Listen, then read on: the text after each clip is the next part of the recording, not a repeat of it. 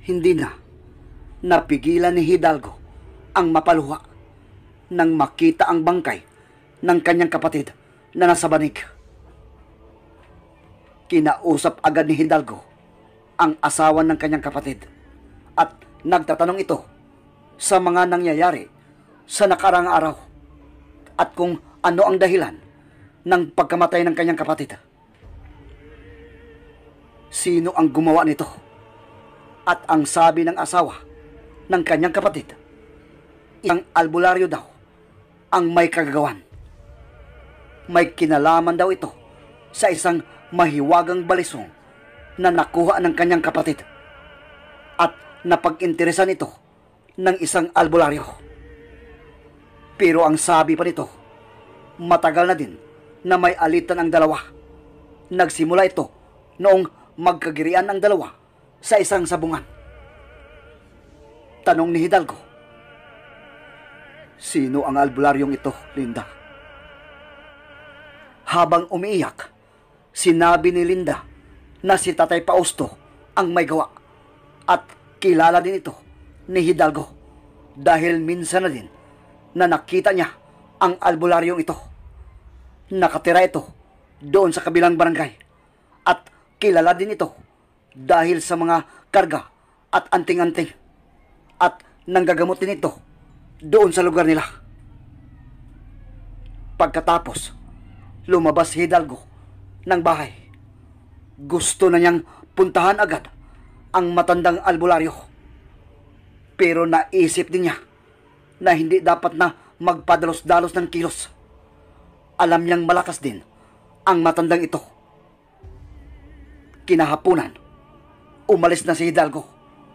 Puntahan na niya ang matanda may mga gustong itatanong lang si Hidalgo nito. Dahil hindi naman kalayuan ang bahay ng matanda. Makalipas lamang ang mahigit kalahating oras. Narating agad ito ang bahay ng matanda. Itong si Tatay Pausto. Nakilala din ito sa pagiging lasinggo. Kaya agad na nakita ito ni Hidalgo doon sa may tindahan na malapit lang din sa bahay ng matanda. Pagkakita ni Hidalgo, agad na nilapitan niya ang matanda kasama ang dalawa pang kainuman. Pagkalapit ni Hidalgo, agad na kinuha nito ang baso na may lamang alak at ininom ito ni Hidalgo. Nagulat pa ang tatlo sa ginawa niya. Nang tumayo ang isa na kasama ng albularyo, at akmang hahawakan sana ang braso niya. Hoy, ang astig mo naman. Sino ka ba? Pero agad na hinawakan ito ang kamay at hinila ito ni Hidalgo sabay pisil. Napahiyaw agad ito sa sakit. Kaya tumayo na ang albularyo at agad na inawat si Hidalgo. Tama na. Tama na. At tinitigan si Hidalgo ng albularyo ng napakasama. Bitiwan mo ang pamangkin ko. Huwag mong ipagmalaki ang mga karga mo, binata. Tinitigan din ito ni Hidalgo. Gigil na gigil na siya na sapakin ang matanda. Pero nagpigil lang ito ang sabi ni Hidalgo, Ikaw, ano ang ipinagbalaki mo? Ngumiti lang ang albularyo sa kanya. Dahil sa kalasingan, hinamon itong si Hidalgo ng matanda na subukan ito ang kanyang kakayahan. Kaya agad na naglakad ang albularyo papunta doon sa likod ng tindahan. Hindi naman pwedeng pigilan ito ng mga kasamang nagiinuman. Kasi takot sila kay Tatay Pausto. Pati ang may-ari ng tindahan, wala itong magawa. Agad na sumunod din si Hidalgo sa matanda. Susubukan din niya ang matandang ito. Pero kailangan na mag-ingat. Ramdam niyang malakas din ang karga ng albularyo. Nang makapunta na ito sa likod ng tindahan, humarap ito kay Hidalgo at nakita niyang may isinubo ito sa bibig at ninunguya. Pagkatapos, ngumiti na naman ito sa kanya. Ang sabi ng matanda, Binata, bigyan kita ng pagkakataon. Ikaw ang unang umatake. Hindi ako gagalaw at hindi kikilos. Tahimik lang si Hidalgo at pinag-aralan ang maaaring gawin ng matanda. Baka patibong lang ito. Pero sa isip din niya, gustong gusto na niya itong atakihin. Sige na binata, pagkakataon mo na. Alam kong may mga karga ka. Ipakita mo ang lakas mo sa akin. Malaya kang atakihin ako. At pumikit na ito. Nadala sa galit si Hidalgo. Ito ang pumartay ng kanyang kapatid. Tama ang albularyo. Pagkakataon na niya ito. Kaya agad na tumakbo si Hidalgo at hinugot ang balisong na nasa kanyang tagiliran. Papatayin niya ang matandang ito. Nang makalapit si Hidalgo, agad na hinataw niya ang matanda. Pero bigla itong dumilat at hinawakan ang kanyang kamay habang sabi nito, Ano ba yan? Hindi pwedeng may armas. Balak mo talaga akong patayin. At biglang nakita ni Hidalgo na bumuka-buka ang bibig nito. Kaya agad na umatras siya.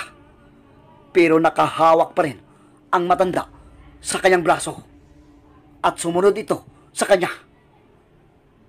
Nang biglang may tumama sa kanyang panga.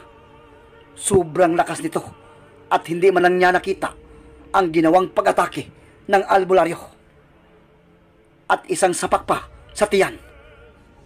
Napaatras na si Hidalgo at napasandal doon sa dingding ng tindahan.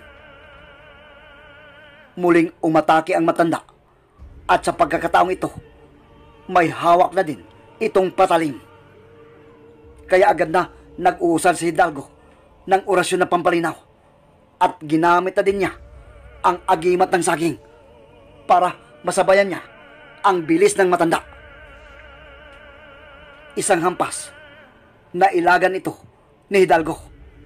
Pero ang pangalawa ay hindi. Tumarak ang punyal na dala ng albularyo sa kanyang kaliwang dibdib. Ramdam talaga ni Hidalgo ang pagbaon ng matalas na patalim sa kanyang dibdib. Pero nahawakan na din niya ang kamay ng matanda at agad na iwinasiwas ang dalang balisong. Tinamaan sa braso at kamay ang matanda at napapatras ito. Nang napatigil ang dalawa, nang may dumating na mga tanod, kasama ang isang konsehal. Tumawag pala ng tulong ang may-ari ng tindahan. Agad na inawat ng mga ito ang dalawa. Kapwa may mga sugat, sina Hidalgo at Tatay Pausto. Dinala sila ng barangay hall at ginamot. Tinatanong din ang dalawa kung bakit naglalaban ang mga ito at kung ano ang dahilan. Nakangiti lang itong si Tatay Pausto habang nakatitig kay Hidalgo. Pasensya na kapitan, nakainom lang kasi.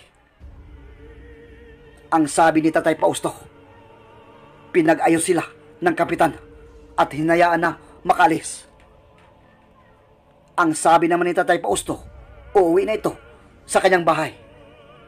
Pero nang palabas na ang dalawa ng barangay hall, lumapit si Tatay Pausto kay Hidalgo at ang sabi nito, Binata, hindi pa ito ang huling pagkikita natin.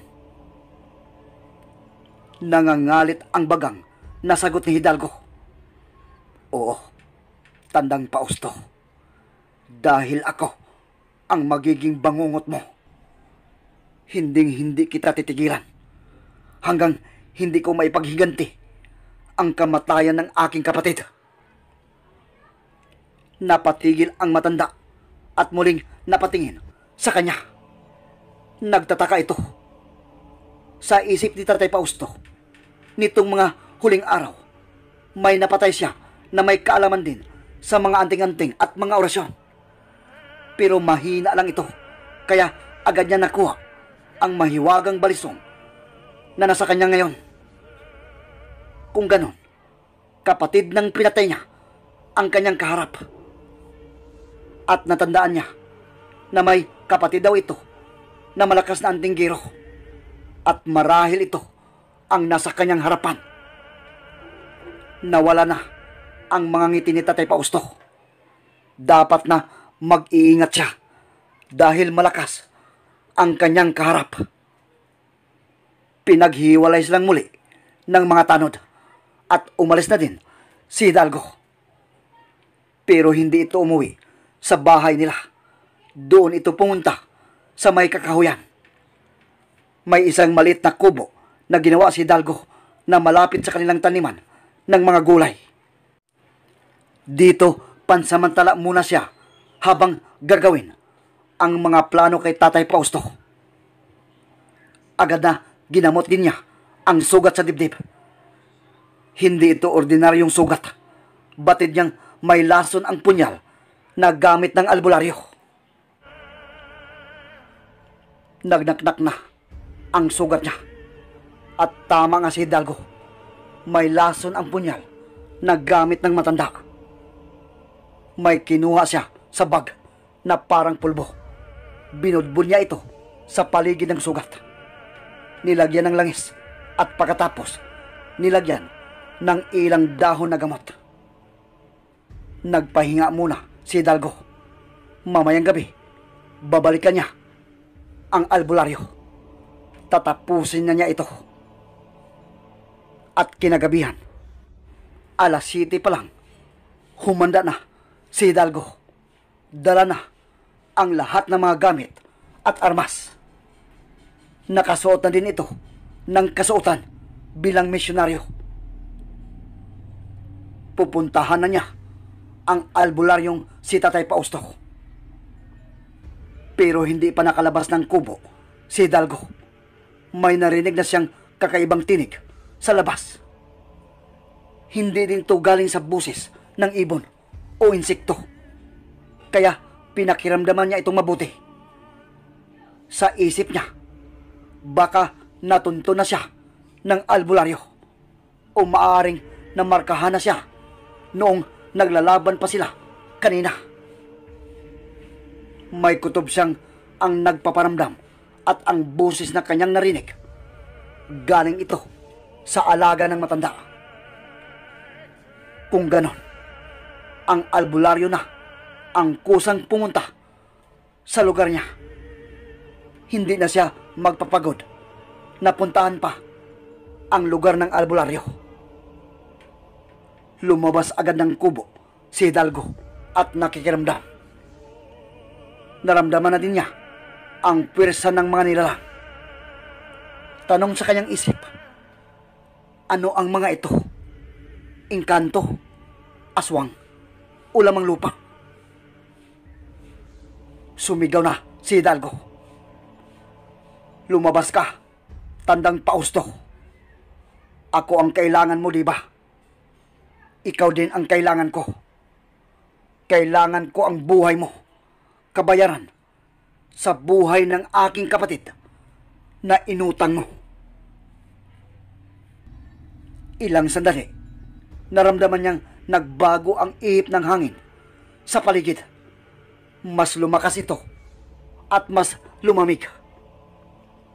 Hanggang sa nakita niya ang ilang nilalang na nagpatalon-talon doon sa mga puno ng kahoy na nasa paligid ng kubo. Sa tingin ni Hidalgo, mga balbal ang mga ito at hindi ito mga aswang. Sabi ulit niya, nagdala ka pa ng mga basura. Nag-uusal ka agad si Hidalgo ng mga orasyon at agad na tumakbo ito. Inatake na niya ang mga balbal na nasa kakahuyan. Habang ang matandang albularyo Nakakubli ito sa likod ng isang kahoy. At nagulat din ito sa kanyang nasaksihan. Ang nakita kasi ni Tatay Pausto ay ang kilala at kinatatakutan ng mga masasama na membro ng misyonaryo. Hindi talaga siya nagkakamali. Ito ang kasuotan ng misyonaryo. Ibig sabihin, ang nakalaban niya kanina ay isa sa mga misyonaryo. At isa lang ang ibig sabihin nito. Malakas ang taong kalaban niya. Pero nandito na siya. Kapag hindi niya napatay ang taong ito, siya ang papatayin dahil sa kagustuhan nitong ipaghiganti ang kamatayan ng kanyang kapatid. Hawak naman niya ang mahiwagang balisong. Kapag tinatamaan nito ang kalaban, kahit nagaano pa ito kalakas, mamamatay pa rin ito. Gumawa na ng mga dasal at orasyon itong si Tatay Pausto. Gagamitin na niya ang mga kaalaman sa kadiliman para talunin lamang si Hidalgo. Habang si Hidalgo, napabagsak na niya ang mga balbal sa paligid. Napakabilis na inatake niya ang mga balbal at pinagtatagpas sa liig at ulo. At makalipas lamang ang limang minuto, patay na lahat ang mga balbal.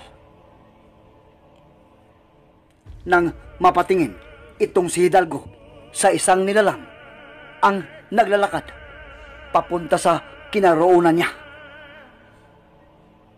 Hindi makita ni Hidalgo ang hitsura ng nilalang dahil nakatalukbong din ito ng maitim na damit at may hawak itong pamalo na may mga tinik ang dulo at isang balisong na nagliliwanag kapag tinatamaan ng liwanag ng buwan.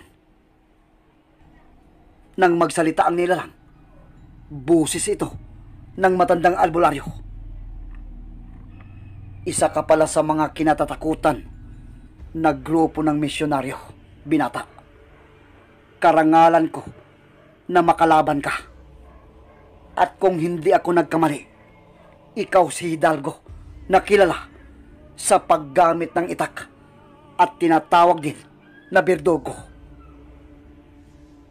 At karangalan ko din na ako ang makakapatay sa isa sa mga membro nito. Sisikat ako pag nagkataon. At tumawa ito habang papalapit sa kanya. Humanda na si Hidalgo. Mukhang may kasama ang matanda at hindi ito nag-iisa dahil kita niya ang dalawang anino na nakasunod sa albularyo at may hawak na mga karit ang mga ito. Hindi kalakasan ang taglay na kalaman ni Hidalgo sa mga orasyon. Mukhang tumawag ng Diablo ang matandang ito. Nang tumakbo na si Tatay Pausto, kumilos na din ang dalawang anino at papasugod na ang mga ito sa kanya. Kaya agad na nag-uusal ng orasyon na pambakod si Hidalgo para sa mga Diablo. At nang makalapit na ang mga ito, biglang nawala ang mga anino at tanging si Tatay Pausto na lang ang kanyang nakikita at umatake na ito sa kanya mabilis din ang matandang ito dahil sa mga gamit na gimat. Mabilis din na nailagan ito ni Hidalgo. Pero nagulat siya nang may biglang humampas galing sa kanyang likuran at tinamaan siya sa likod at balikat. Malalim ang tama ng mga ito kaya napapatras si Hidalgo. Kumikirot kagad ang mga sugat nito. Kaya napasandal siya doon sa puno ng kahoy. Sumirit kaagad ang masaganang dugo galing sa kanyang mga sugat. Tanong sa kanyang isip, sino ang gumawa noon? Nasa harapan niya si Tatay Pausto. Imposibleng ito ang humampas sa kanya. O baka ang mga anino kanina ang may gawa? At bakit hindi niya ito nakikita? Delikado ang kalagayan niya ngayon. Hindi niya kayang labanan ang mga ito sa ganitong sitwasyon. Lalo na may mga sugat siya at malalalim ang mga ito. Sa isip ni Hidalgo, kailangan na makatakas na muna niya sa mga ito. Kaya nang tumakbo na itong si Tatay Pausto, papunta sa kanya. Agad na gumulong si Hidalgo at tumakbo ito ng napakabilis. At nang marating na nito ang ilog, agad na tumalon ito doon sa ilog at mabilis na lumangoy papunta doon sa kabilang bahagi ng pangpang. Nang mapalingon si Hidalgo, nakasunod pa rin ang matanda sa kanya. At nang makarating na siya sa kabilang bahagi ng ilog, nawala na ang matanda sa kanyang paningin. Pero ramdam pa rin niya ang pwersa ng kadiliman. Hindi pwedeng magtatagal sa lugar na ito. Kaya agad na tumakbo si Hidalgo at papunta ang direksyon niya doon sa bahay ni Tatay Damaso. Ito lang ang makakatulong sa kanya. At makalipas ang isang oras na pagtakbo, narating na din niya ang lugar. Mag alas 11 na yun ng gabi. Pero bukas pa rin ang ilaw sa bahay ng albularyong si Tatay Damaso. Kaya agad na kumatok si Hidalgo. Pakiramdam kasi niya, parang mawala na siya ng malay. Dahil siguro sa dami ng dugo na lumabas sa kanyang mga sugat. Nang buksan ito ni Arnel, ang pamangkin ng albularyo, gulat na gulat ito nang makita si Hidalgo. Hidalgo, anong nangyari sa'yo? Pumasok ka na sa loob. Bilis! At tinawag ni Arnel si Tatay Damaso. At nang makita din ni Tatay Damaso itong si Hidalgo. Hidalgo, anong nangyari sa'yo? Pero hindi na nakasagot itong si Hidalgo. Nawala na ito ng malay. Kaya agad na ginamot ito ni Tatay Damaso. At habang ginagamot, gamit ang itim na kabibi, may mga inusal-usal din na orasyon si Tatay Damaso. Dahil batid niyang hindi ordinaryo ang sugat na natamo ni Hidalgo. Parang gawa ito na kung anong armas galing sa kadiliman. Kailangan na maisara niya agad ang pagkalat ng lason dahil maaring maparilsa ang buong katawan ni Hidalgo. Umaga na nang magising itong si Hidalgo. Bumangon kagad ito at hinahanap si Tatay Damaso. Hidalgo, magpahinga ka muna. Okay na ang mga sugat mo sa likod, pati na sa balikat at dibdib. Sino ba ang nakalaban mo? Unang bisis ito na nakita kong lubha kang nasugatan sa labanan. Ibig lang sabihin, malakas ang nakasagupa mo, Hidalgo. Humiga muli si Hidalgo. Medyo kumikirot pa rin ang kanyang mga sugat. At ang sabi niya kay Tatay Damaso, Tay Damaso, nakilala ko na ang may kagagawan sa pagkamatay ng aking kapatid. Isa siya sa mga anting giro doon sa lugar at isa ding albularyo. Nakaharap ko siya kagabi. Kaya ko ang isang yuntay. Pero may kasama itong dalawang jablo at mukhang malalakas ang dalawang yon. Hindi ko makita ang mga pag-ataking ginawa nila. Ngayon, kailangan ko ng orasyon o gamit para sa mga jablong yon. Tay Damaso. Nag-iisip si Tatay Damaso. Parang alam na niya kung anong klaseng nilalang ang kakampi ng albularyo na nakalaban ni Hidalgo. O Hidalgo, may ibibigay ako sa'yo. Magpagaling ka muna. Kinagabihan, muling kinausap niya si Tatay Damaso. Kailangan na niyang balikan ang matandang yon.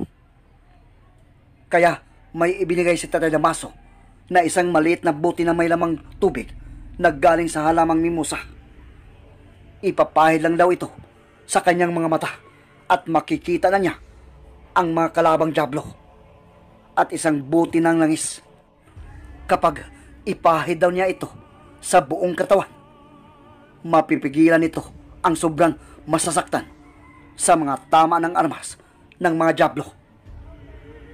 Kaya sa gabing yon, kahit na ayaw pumayag ni Tatay Damaso na umalis itong si Hidalgo dahil hindi pa ito lubusang gumaling, nagpupulit pa rin itong si Hidalgo.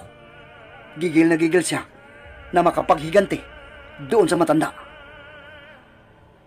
Dumiritso itong si Hidalgo sa lugar ng albularyo. At nang marating na niya ang lugar, nagpalipas muna ito ng ilang oras doon sa may kakahuyan. Hinihintay muna ni Hidalgo na sumapit ang hating gabi para siguradong tulog na ang mga tao doon sa buong lugar. At pagsapit nga ng hating gabi, nagsimula ng kumilos itong si Hidalgo. Oras na para gawin ang binabalak niya.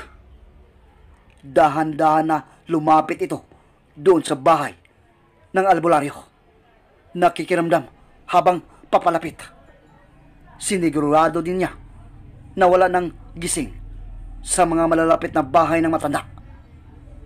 Pagkatapos, nag-uusal na siya ng mga orasyon para hindi siya maramdaman ng albularyo. Ipinahid na din niya ang langis na bigay ni Tatay Damaso, pati ang tubig na galing sa halamang mimosa. Ipinahid na din ito sa kanyang mga mata. Nang matapos na ang mga ginagawa ni Hidalgo, dahan-dahan na itong lumapit sa bahay ng albularyo. Makalipas ang ilang sandali, nang may mapansin siya na isang tao na nakahiga doon sa may upuan na kawayan na nasa gilid ng bahay. At nakilala ito agad ni Hidalgo. Ito ang matandang albularyo. At sa tingin niya, lasing na naman ang matanda. Nakatayo lang si Hidalgo at nag-iisip. Nag-iisip ito kung aatakihin naman niya ang matandang ito na walang kalaban-laban. Parang hindi naman ito kaya ng kanyang konsensya. At wala ito sa kanyang prinsipyo. Pero nang maramdaman niyang gumalaw, itong si Tatay Pausto, at nang tingnan niya ito sa kinaroonan ng matanda, nakita niyang nakatayo na ito. At ang sabi ng albularyo, Maayos na pala ang lagay mo, Hidalgo. Mukhang pwede na naman tayong magtutuos muli. At tumawa ito sa kanya. Sagot ni Hidalgo, Pwedeng pwede na. Tandang pausto. At mabilis na hinugot niya ang itak at agad na inatake ng taga ang matanda. Mabilis naman na tumakbo ang matanda papasok ng kubo. Sinunda naman agad ito ni Hidalgo. Muntik nang tamaan niya ito ng mga taga. Nang maramdaman niyang umihip na naman ang kakaibang lamig ng hangin sa paligid. At may namataan si Hidalgo na parang anino ang humarang sa kanya. At may nakita din siyang mga nilalang ang nagsitalunan doon sa kakahuyan na nasa likod ng bahay ni Tatay Pausto. Hanggang sa maaninag na niya ang anino na nasa kanyang harapan. Ito na ang jablong kasama ng albularyo nang atakihin siya doon sa may kubo ng kanilang taniman. Tanong ng kanyang isip, nasaan na ang isang kasama nito? Isa lang ang anino na nasa kanyang harapan. Nakikiramdam sa paligid si Hidalgo. Baka nasa paligid lang ang isa pang aninong nilalang. Nang makita niyang tumalo na ang mga nilalang galing doon sa mga puno at papunta na ang mga ito sa kinaroonan niya. At iwinasiwas na din ng anino ang hawak na karet. Nakita na ito ni Hidalgo kaya agad na nailagan niya ang pag-atake ng mga ito. At nang gumanti sa pag-atake, si Hidalgo, bumulagta agad ang mga balbal. At pilit na inabot niya ang anino na may hawak na karit. Pero hirap siyang maabot ito. Hanggang sa nagpakita na din itong si Tatay Pausto at ang isa pang anino. Hawak na din ng albularyo ang balisong. Grabe ang bakbakan sa labas ng bahay ng albularyo. Hanggang sa maabutan niya ang mga aninong Diablo na kakampi ng matanda at mahuli niya ang mga ito. Nasusugatan na din si Hidalgo galing sa hawak na balisong ng albularyo. Nasugatan ang kaliwang braso niya at para itong namamanhid at nahihirapan na siyang maigalaw ito. Galit na galit itong albularyo at patuloy na umaatake. Galit na galit ito nang makitang mahuli niya ang mga kakamping jablo ng matanda. Papatayin kita! Papatayin kita! Ang sabi ni Tatay Pausto na namumulan na ang mga mata sa galit at nagbago na ng unti-unti ang hitsura nito. Para na itong urangutay dahil dahan-dahan na din na humaba ang mga kamay ng albularyo. Putik, hindi lang pala albularyo ang matandang ito. May lahi din pala na orangutay. Umatras muna si Hidalgo at pinakiramdaman ang kanyang isang kamay. Grabe na ang pamamanhid nito at unti-unting kumalat na ito sa kanyang katawan. Kailangan na niyang gumawa ng paraan para agad na matalo ang matandang ito bago pa maparalisa ang buo niyang katawan. Nabitiwan na din ni Hidalgo ang isang itak na hawak dahil parang walang nang lakas ang isa nitong kamay. Ilang sandali, galit na galit na sumugod si Tatay Pausto habang hawak ang balisong. Kaya agad na umikot si Hidalgo at iwinasiwas ang dalang itak at pinagtataga na ang matanda. Nadaplisan ito ni Hidalgo sa kamay. Pero hindi yun sapat para mapigilan ang albularyo sa pag-atake sa kanya. Mabilis pa rin ito hanggang sa tamaan na din uli si Hidalgo sa kanyang pa. Papatayin kita. Ang paulit-ulit ang sabi ng matanda. Napasandal si Hidalgo doon sa puno ng mangga. Mukhang dihado na siya sa labanan. Ang nasa isip ni Hidalgo, kung mamatay man siya, makipagsabayan na lang siya sa matanda. At nang umataking muli ito sa kanya at pinagsasaksak na si Hidalgo, wala na siyang nagawa. Tinamaan na siya sa tiyan. Hindi na niya kayang igalaw pa ang isang kamay at parang nagsimulang mamanhid na rin ang kanyang isang paa. Nang saksaking muli si Hidalgo ng matanda, agad na itinagpas niya ang hawak na itak. Pero nakailag pa rin ito at umatas. Tumawa na ng napakalakas ang albularyo. Katapusan mo na ngayon. Papatayin na kita. Isusunod kita sa iyong kapatid. Ang sabi nito. Ang nasa isip pa rin ni Hidalgo. Hindi ito maaari. Ikaw ang mamatay. Mabilis na inihagis ni Hidalgo ang hawak na itak doon sa matanda. Pagkatapos, agad na hinugot ang balisong na nasa kanyang tagiliran. Itinapon ito sa ere at sinipa ito ni Hidalgo ng ubod ng lakas.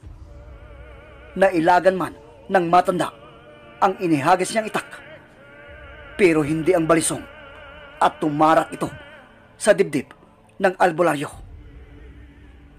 Kahit na hirap ng maigalaw ni Hidalgo ang isang kamay at pa, matindi pa rin ang kanyang determinasyon na mapatay ang albularyong ito.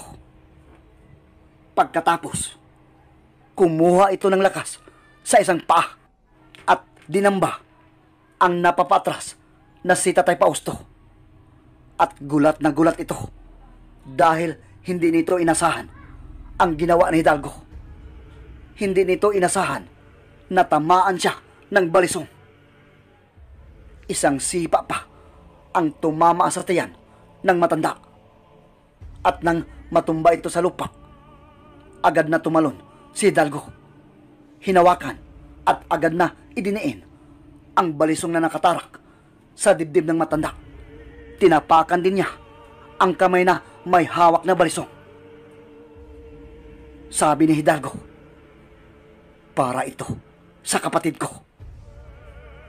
Nang makita niyang lumabas na ang dugo sa ilong at bibig ng matanda, hinugot ni Hidalgo ang balisong at muling itinarak sa dibdib ng albularyo ng ilang bisis. Nang tigilan ito ni Hidalgo, wala nang buhay si Tatay Pausto. Amanos na tayo, tandang Pausto. Pagkatapos, pilit na tumayo si Hidalgo. Hindi na niya kaya pang maigalaw ang kamay at paa. Tumitingin-tingin si Hidalgo sa palibot ng bahay. Tahimik na ito at nagkalat pa rin ang mga bangkay ng mga balbal. Ang ginawa niya, pumunta siya sa kakahuyan at umupo doon si Hidalgo. Pagkatapos, may mga kinuha ito na buti ng langis at ipinahid doon sa kanyang mga sugat. Doon na siya nagpalipas ng gabi. Hindi na niya kaya pang umuwi. May mga kinuhang dahon din na gamot si Hidalgo, dinasalan at itinapal sa kanyang sugat sa braso at dibdib, pati na sa paa. Galing ang sugat nito sa punyal ni Tatay Pausto at sa kanyang balisong. Ilang sandali, nakaramdam ng ginhawa si Hidalgo at tuluyan ng nagpahinga. Nakasandal ito sa puno ng kahoy na may mga nakapalibot na ugat at baging. Pagkalipas ng ilang oras, alas 4 pa lang ng umaga, tumayo na ito. Medyo maigalaw na din niya ang kanyang paa at kamay. Kailangan na puntahan niyang muli si Tatay Damaso. Ito lang ang naisip niyang kayang gumamot sa kanyang mga sugat. Kaya dahan-dahan na naglalakad si Hidalgo papunta doon sa bahay ni Tatay Damaso. At nang makarating na siya doon, agad na gumawa ng mga gamot ang matanda. At hindi din ito makapaniwala. Ang lakas din pala ng albularyong nakalaban niya. Dahil sa tagal na magkakasama sila sa mga labanan. Ngayon pa lang niya nakita na nahirapan at lubhang nasusugatan ang kanyang pamangkin at muntik pang ikamatay. Ano na ang plano mo ngayon, Hidalgo? Ang tanong ni Tatay Damaso. Uwi muna ako, Tay Damaso. Ililibing muna namin ang kapatid ko. Pagkatapos, babalik akong muli sa grupo namin kapag gumaling na itong aking mga sugat. Kinabukasan, bumalik na sa normal ang kanyang mga paa at kamay.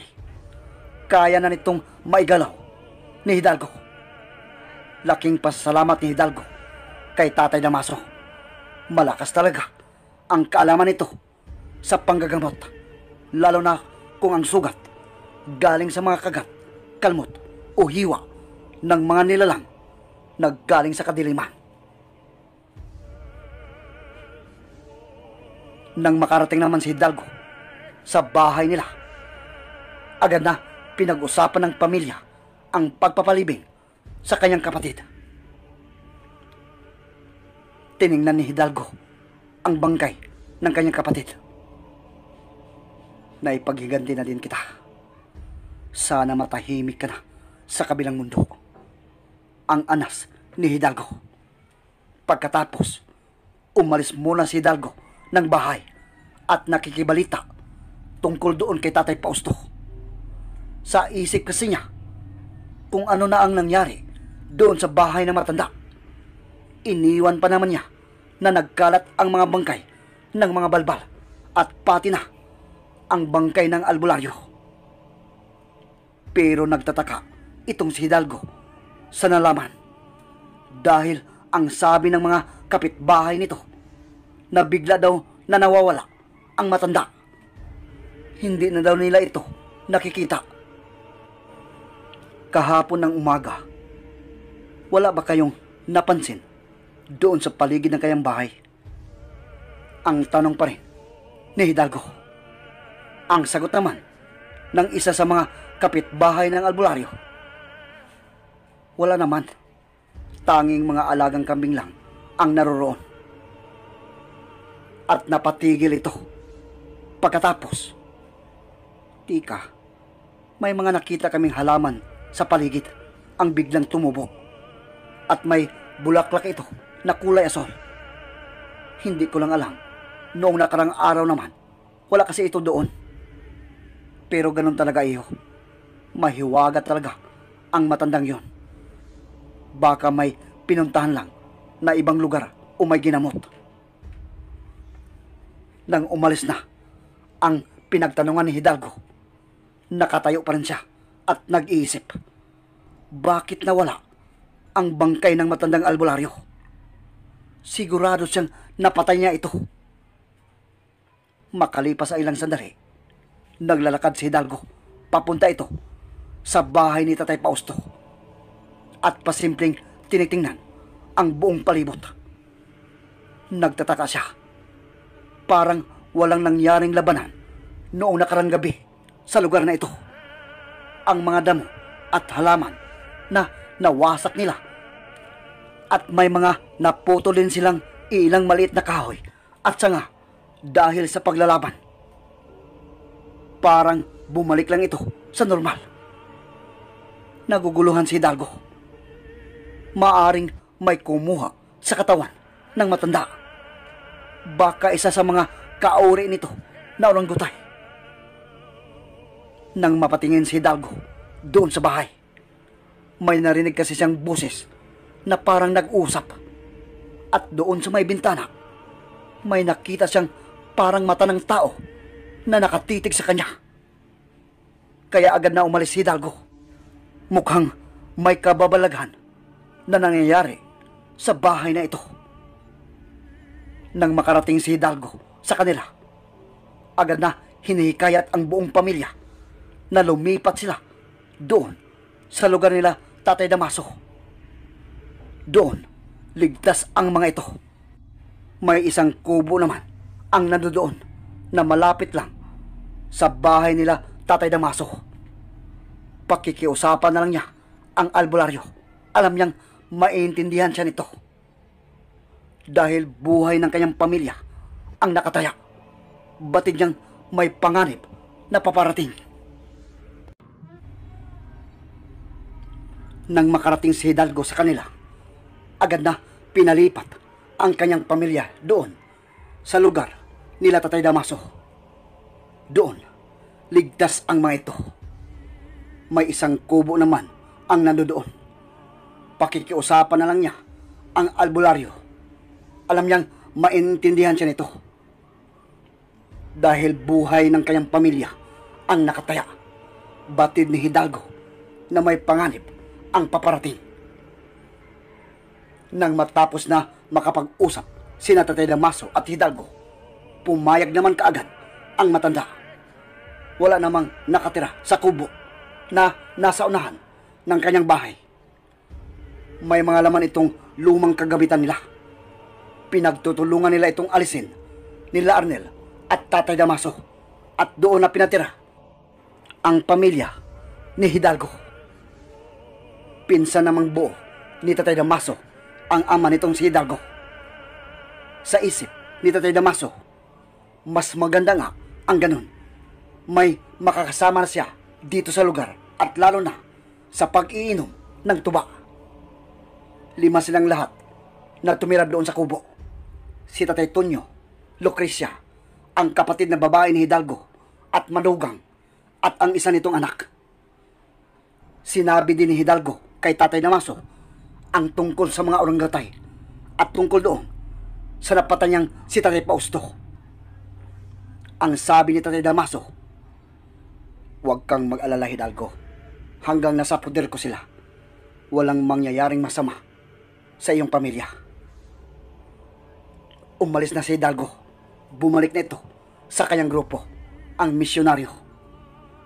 Kinausap din ni Tatay Damaso ang kanyang pinsan. Dapat na mag-iingat din ang mga ito. At nagpatulong ito sa paglalagay ng mga panguntra sa paligid. May kutob si Tatay Damaso na puntahan talaga ang pamilya ni Hidalgo ng mga orangutay. Kaya kinagabihan, sina Arnel at Tatay Damaso nakaupo ang dalawa sa ilalim ng puno ng kahoy malapit sa kubo. Kasama nila ang ama ni Hidalgo na si Tatay Tonyo. Nag-iinuman ang tatlo ng tuba.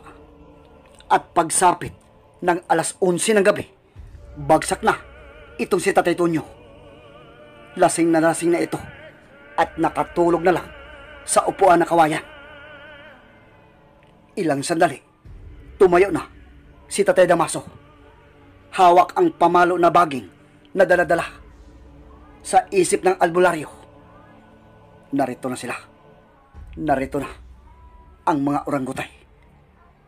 Sa gagawin ko sa inyo ngayon, hinding hindi nyo na babalaking bumalik pa dito sa aming lugar. Sabi niya kay Arnel, Arnel, humanda ka na. Paparating na sila. Tumayo na din itong si Arnel. Nawala ang kalasingan ng binata. May mga alam din itong si Arnel sa mga orasyon at buhay na salita. Pero hindi masyadong kalakasan ang kanyang mga kakayahan. Pero katukatulong ito ni Tatay Damaso at buo din ang loob ng binatang ito. Kaya ilang sandali, naglalakad na sina Tatay Damaso at Arnel papunta doon sa kakahuyan na nasa likod ng kubo nila Tatay Damaso. May dala din na isang supot ng munggo itong si Tatay Damaso. Nang makarating na sila doon sa kakahuyan, nagtatago muna ang dalawa sa likod ng puno. Dinasalan ang dalang supot at ibinudbod ni Tatay Damaso ang lahat na laman ng supot sa paligid ng kubo. Pagkatapos, hinihintay nila ang mga paparating na mga nilalang.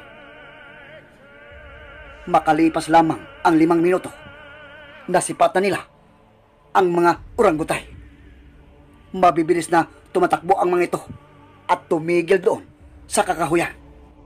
Sumisinghot-singhot at inaaninag ang buong paligid. Parang pinag-aralan muna ng mga ito ang lugar. Pagkatapos, tumalon kaagad ang lima papunta doon sa puno ng kahoy na malapit sa kubo nila Tatay Damaso. Habang ang walo, dahan-dahan na naglakad ang mga ito papunta doon sa kubo. Agad na nag-uusal si Tatay Damaso ng mga orasyon. Matapos na gawin yon ng albularyo, narinig nilang nagsisigawan na ang mga nilalang na parang sobrang nasasaktan at agad na nagtatakbuhan ang mga ito sa paligid. Tara na, Arnel. Ang sabi ni Tatay Damaso at mabilis na tumakbo para atakin ang mga orangutay. Mag-iingat ka sa kanila, Arnel. Malalakas pa rin ang mga nilalang na yan. Pati ang mga nilalang na nasa itaas ng mga puno. Bumagsak na rin ito sa lupa. At agad na nagtatakbuhan. Parang napapaso ang buong katawan ng mga ito, lalo na kapag natatapakan ang mga ibinudbod ng mga munggo ni Tatay Damaso sa paligid. Pinaghataw agad ang mga ito ni Tatay Damaso sa hawak na baging. Pati si Arnel, nakikihataw na rin sa dalang buntot pagi. Ang mga hawak na armas ng dalawa, pinahiran ito ng katas ng halaman ng mimosa. Kaya sa bawat tama ng kanilang mga hampas, nagsisigawan na agad ang mga orangutay. Namimilipit ito sa sakit habang gumagapang sa lupa. Hanggang sa magmamakaawa na ang mga ito kay Tatay Damaso. Ang sabi ng matanda, Huwag na huwag na kayong bumalik pa sa lugar na ito kung ayaw niyong mamatay. Pinabayaan na lang ni Tatay Damaso na makaalis ang mga ito. Rinig pa nila ang mga panaghoy ng mga orangutay habang papalayo. Ramdam pa rin ng mga ito ang sakit sa katawan. Sabi uli ni Tatay Damaso, Tara na Arnel, bumalik na tayo sa kubo. Hinding hindi na babalik ang mga nilalang na yon. At hinding hindi nagagaling pa ang sugat na ligha sa ginawa kong orasyon. Habang buhay na maghihirap ang mga nilalang na yon dahil sa mga natamong sugat. Bago umuwi ng bahay ang dalawa, ipinasok muna nila sa kubo ang lasing na si Tatay Tonyo. Kinabukasan, maaga pa lamang, may bisita na sina Tatay Damaso. Kailangan daw nito ang kanyang tulong dahil nainkanto daw ang panganay na anak ng mga ito. Kasama si Arnel, agad na pinuntahan nila ang bahay. Taga-kabilang barangay lang ang mga ito, kaya agad na narating nila ang lugar. Pagkapasok nila ng bahay, agad na bumungad sa kanila ang anak nito na may sakit. At ilang hakbang pa lang, nagagalit na ito sa kanila. Paalisin nyo ang matandang yan. Sigaw nito sa kanila. Huwag niyong papalapitin sa akin. Maawa kayo. Patuloy na pagsisigaw nito. Tumigil muna si Tate Damaso. Ang sabi ng albularyo, ikaw ang umalis sa katawan ng babaeng yan. Kung ayaw mong itapon kita sa kadiliman. Pagbabanta ni Tate Damaso habang dahan-dahan na kinuha ang isang kwintas. Lalong nagwawala na ang babae. Kaya pinagtutulungan na nila itong hawakan. Sabi ni Tatay Damaso, Arnel, tulungan mo sila at ipahid mo ito sa magkabilang sentido ng babae. Ang utos ni Tatay Damaso. Nang magawa yun ni Arnel, agad na lumapit si Tatay Damaso at nag-uusal ng mga orasyon. Pagkatapos, hinawakan ang ulo ng babae.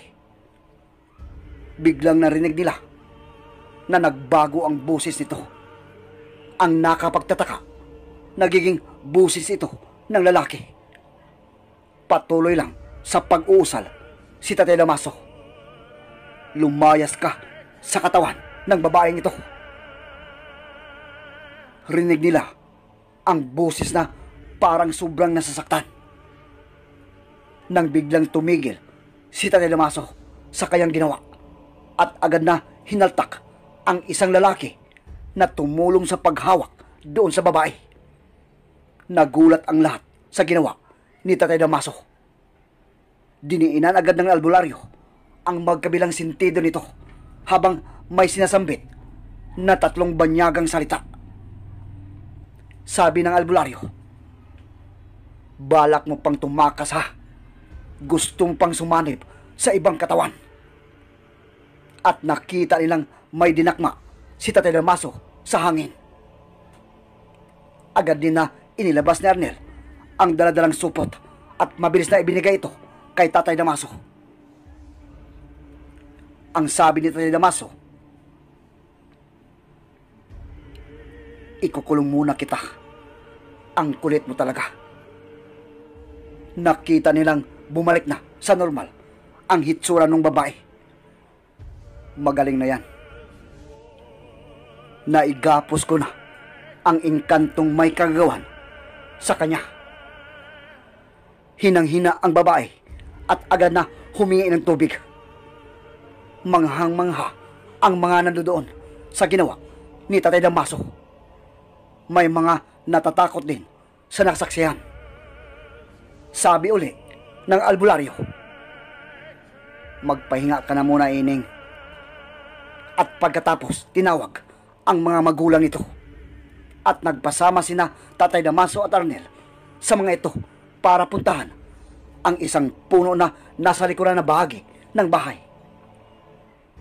Nagtataka ang mga magulang ng babae kung bakit sila pumunta dito sa kakahuyan. Pagkatapos, pinauwi na ni Tatay Damaso ang mag-asawa. Arnel, ilabas mo na ang supot na dala natin. Pagkatapos, nag-uusal muna ng mga orasyon itong si Tatay Damaso. Narito ako para makipagsundo. Hawak ko ang isa sa inyong kasamahan na nanggugulo doon sa isang tao. Ibabalik ko ito sa inyo sa isang kondisyon. Huwag na wag na kayong manggugulo pa sa mga tao, lalo na doon sa babae.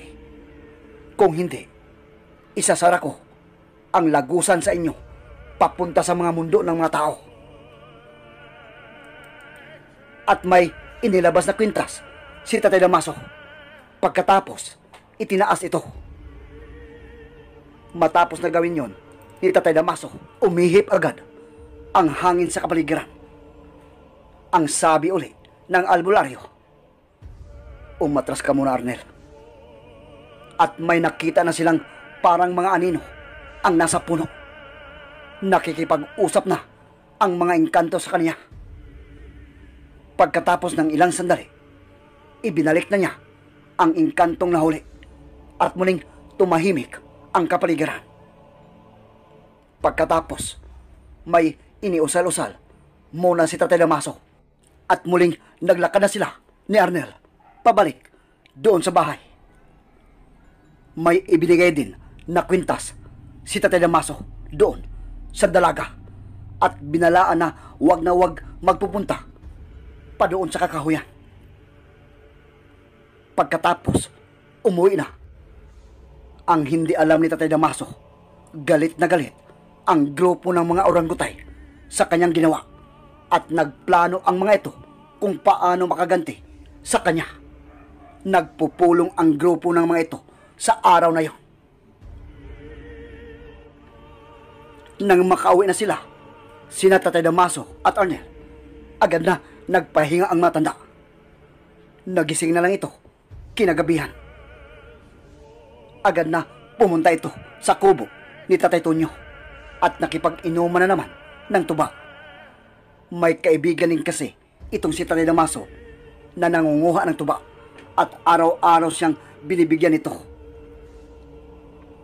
Habang napasarap ang inuman ng dalawa, biglang napatayo si Tatay Damaso. May mga naririnig siyang parang angel na nanggaling doon sa kanyang sagingan. Malapit lang ito sa kanyang bahay. Bakit Damaso? Ang tanong ni Tatay Tonyo. Sagot ni Tatay Damaso Pumasok ka na lang muna sa kubo, Tonyo. Mukhang may mga bisita ako. Ang akala ni Tatay Damaso, ito ang mga aswang na laging nagpaparamdam sa kanya at umaaligid sa kanyang bahay. Sanay na kasi si Tatay Damaso sa mga ganito dahil sa kanyang pagiging albularyo at marami na din ang mga nakasagupa niya. Marami talagang umaaligid at pumupunta sa kanyang bahay ng mga nilalang. Dahan-dahan na lumapit si Tatay Damaso doon sa sagingan habang nag-uusal ng mga orasyon. Nang makalapit na siya, nagulat si Tatay Damaso nang makita ang mga nilalang. Mga orangutay. Sa isip ng albularyo, ito na siguro ang mga orangutay na nakalaban ni Hidalgo o ang mga kasamahan nang napatay niyang si Tatay Fausto. Agad nang bumalik si Tatay Damaso doon sa kubo nila Tatay Tonyo. Ito ang inaalala niya. Baka ang pamilya ni Tatay Tonyo ang sadya ng mga ito. Malakas ang kanyang mga panguntra sa kanyang bahay. Hindi ito basta-bastang makakapasok ang mga nilang. naggaling sa kadiliman. Agad na may ibinudbod si Tatay Damaso doon sa palibot ng kubo habang nag-uusal ng mga orasyon. Pagkatapos, bumalik si Tatay Damaso sa kanyang bahay at may kinuha ito na isang mahabang itak na gawa sa tanso at ang hawakan gawa naman sa buntot pagi. Pagkatapos, agad na lumabas si Tatay Damaso at mabilis na itong naglakad papunta doon sa kanyang sagingan. Nang makarating na siya doon, agad naman na nagpulasan ang mga orangutay sa biglang pagsalakay ni Tatay Damaso. Pero agresibo ang mga nilalang at agad naman na sumalakay sa kanya. Nasa mahigit sampu ang mga orangutay na nandoon. Pinagtatagpas ito ni Tatay Damaso gamit ang itak. Pero habang nakikipaglaban ang albularyo, napansin niya na parang nakaramdam siya ng panghihina. Nagtataka si Tatay Damaso. Parang may mga ginawang orasyon ang mga orangutay sa kanya. Ang ginawa ni Tatay Damaso, agad itong umatras. Pero tinamaan na siya ng mga kalmot galing sa kanyang likod. Napasandal sa puno si Tatay Damaso at hinampas agad ang mga orangutay na sumunod sa kanya. May mga nasusugatan na din si Tatay Damaso sa kanyang mga kalaban. Pero hindi pwedeng ipagpatuloy niya ang pakikipaglaban sa mga ito. Nang hihina ang katawan niya. Kaya habang may lakas pa, mabilis na tumakbo si Tatay Damaso pauwi ng kanyang bahay. Sumunod naman agad ang mga kalabang orangutay. Pero napatigil ang mga ito nang maramdaman ang mga ginawang pangontra ng albularyo sa paligid ng bahay. Pagkapasok ni Tatay Damaso, agad na ginamot niya ang sugat sa kanyang likod. Inutusan din kaagad si Arnel na maglagay ng mga makabuhay sa tapat ng pinto at bintana. Dagdag pangontra ang mga ito. Baka mawasak ng mga orangutay ang kanyang inilagay ng mga pangontra sa palibot. Nang mapunta sa bintana, itong si Arnel, nasipat niya ang mga nilalang na unti-unting papalapit na sa kanilang bahay. Pagkatapos, tumigil ang mga ito at umaligid. Tay Damaso, lumapit pa ang mga nilalang sa paligid ng bahay. Oo, Arnel. Pero hindi pa makakalapit ang mga yan dito sa bahay. Gumagawa pa ang mga yan ng paraan para mawasak ang mga pangontra ko na nasa palibot. May kinuha si Tatay Damaso doon sa kwarto at mabilis na dinala doon sa kabilang kwarto kung saan nandoon ang kanyang altar. Inilagay niya kaagad ang isang bungo ng hayop. Itinabi dito ang kabibi na kulay itim. Pagkatapos, nagtirik ito ng mga kandila sa paligid. Kinuha ang librita at nagsimula ng mag-uusal ng mga orasyon itong si Tatay Damaso. Makalipas ang ilang minuto, umihip ang malamig na hangin sa kapaligiran. Pagkatapos, may mga anino ang lumabas galing doon sa bungo na nasa kanyang harapan. At mabilis na lumabas ang mga ito ng bahay. Agad din na nagpulasan ang mga orangutay na nasa paligid at tuluyan ng umalis ang mga ito. Ang mga kaibigang inkanto ni Tatay Damaso patuloy na nagbabantay sa paligid hanggang mag-uumaga. May kapalit ang ginawa ni Tatay Damaso kaya kinagbukasan agad na nag-alay ito ng dalawang manok sa kanyang mga kaibigang inkanto. Pero bago sumapit na naman ang gabi, may mga ginawa na si Tatay Damaso. Humingi na ito ng tulong sa kanyang mga kaibigan ng mga engkanto para tulungan siya sa pakikipaglaban sa mga orangutay. Sa pagkakataong ito, batid niyang siya na ang gustong patayin ng mga orangutay. Pero dapat na mag-ingat pa rin. Baka mapahamak din si Natatay Tonyo. Kinagabihan, may mga orasyon ang ginawa itong si Tatay Damaso At nakahanda na din sila ni Arnel. Medyo gumaling na ang sugat niya sa kanyang likod. At sa gabing yun, hindi na muna pinalabas ang pamilya ni Tatay Tonyo.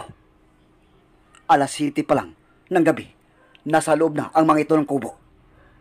Habang sina Tatay Damaso at Arnel, nasa labas sila ng bahay. Hawak ang itak ni Tatay Damaso at buntot pagi naman kay Arnel. Handa na sila kung sakaling babalik ang mga orangutay. Handa na din ang mga kaibigang inkanto ni Tatay Damaso. Makalipas ang ilang oras, walang naramdamang kakaiba ang dalawa. Pero pagpatak ng alas 10 ng gabi, dito na naramdaman nila Tatay Damaso at Arnel ang mga orangutay.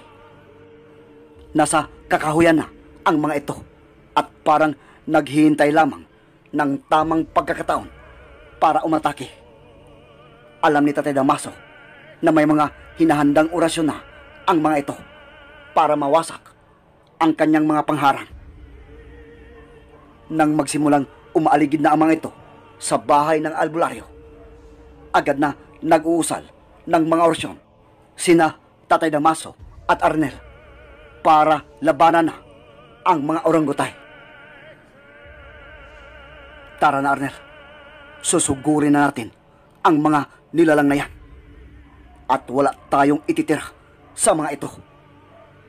At mabilis nang tumakbo itong si Tatay Damaso at Arnel papasugod doon sa mga orangutay. Nagulat pa ang mga aswang sa ginawa ni Tatay Damaso. Hindi nila akalain na gagawin yun ng albularyo. Ang akala kasi ng mga nilalang na gagawa na naman ng mga orasyon ang albularyo para palabasin ang mga kaibigang aninong inkanto. At lalong nagpulasan ang mga aswang nang makita ang iba't ibang klaseng inkanto ang lumabas at papasugod na doon sa mga orangutay. May mga batibat, may alkantar, at may mga anino na tumulong din kay Tatay Damaso. Nagkabakbaka na doon sa unahan ng sagingan ng albularyo. Si Tatay Damaso, Arnel, kasama ang mga engkanto, nakipagbakbakan laban sa mga orangutay. Rinig nila Tatay Tunyo ang mga angel at kakaibang mga panaghoy ng mga engkanto sa paligid. Umabot din ng dalawang oras ang labanan. Unti-unting nauubos na ang mga orangutay. Mas marami ang mga engkanto at mas malakas ang mga ito. May ilan sa kanila ang napatay ng mga orangutay. Papatras na ang mga kalabang nila lang nila Tatay Damaso. Pero sinusundan pa rin ang mga ito ng dalawa hanggang sa masukol doon sa may kakahuyan. Pinagtatagpas ito ni Tatay Damaso kasama si Arnel. May ilang sugat si Arnel at Tatay Damaso sa kamay at braso. Pero maliliit lamang ang mga ito hanggang sa matagpas ni Tatay Damaso ang liig ng isang orangutay at pinagtutulungan pa ng mga engkanto ang mga natirang orangutay. At pagkatapos ng tatlong oras, bangkay na ang lahat ng mga nilalang. Nagkalat ito doon sa sagingan at kakahuyan. May ilan din sa mga kaibigang engkanto ni Tatay Damaso ang namatay. Mag-alauna na yun ng madaling araw. Nang kumatok si Tatay Damaso sa kubo nila Tatay Tonyo. Nagpatulong ito para sunugin nila ang lahat ng mga bangkay ng orangutay. Naisip ng albularyo, hinding-hindi na manggugulo pa ang mga kapamilya ng mga orangutay na ito. Malaking leksyon ito sa kanila at malaking kawalan ang pagkamatay ng malaking hanay ng mga orangutay para katakutan na ng mga nilalang. Kinabukasan, gumawa na naman ng mga orasyon at ritual itong si Tatay Damaso at gumagawa din ng pag-aalay para sa mga namatay na kaibigan niyang inkanto. Pero laging nag-iingat si Tatay Damaso at laging handa. Ang buhay bilang albularyo ay hindi madali. Laging lapitin ng mga kampon ng kadiliman at laging lalagay sa bingit ng kamatayan. Ito ang buhay ni Tatay Damaso, pati na ang kanyang buong pamilya, sina Lucila at Arturo. Sanay na ang albularyo sa mga ganitong pakipaglaban. Habang tumatagal, lalong lumalakas ang kanyang mga kaalaman at kakayahan. Ang gagawin ni Tatay Damaso, ipaalam na lang kay Hidalgo ang lahat ng mga nangyayari sa kanila. At para hindi na ito mag-alala sa kanyang mga pamilya na sina Tatay Tonyo